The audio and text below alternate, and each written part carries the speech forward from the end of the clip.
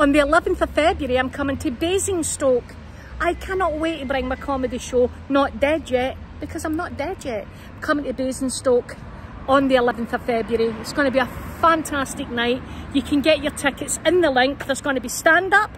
There's going to be voiceovers. There's going to be a lot of laughter.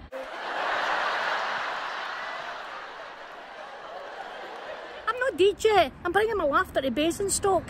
See you then.